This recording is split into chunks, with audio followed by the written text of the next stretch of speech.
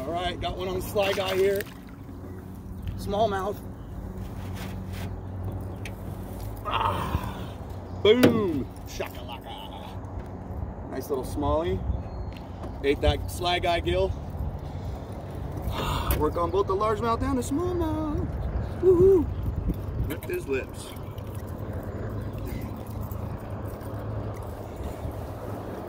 Nice fish. You gonna spend it with money? Come on, bro. You cool, not mean like I am.